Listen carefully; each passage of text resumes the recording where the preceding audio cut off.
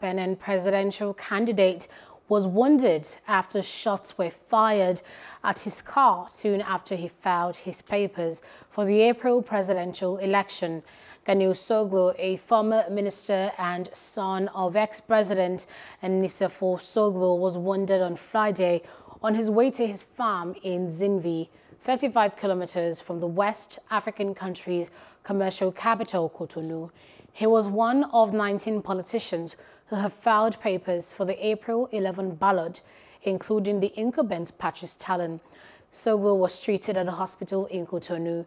In a communique, he said he was focused on his recovery and medical treatment after surviving a viral attack without giving details. Many Benin opposition figures are either in exile or are barred from running in the election. That has prompted criticism that the former French colony, once seen as a model of democracy, has veered into authoritarianism under Talon. Police have opened an investigation but are yet to issue a statement.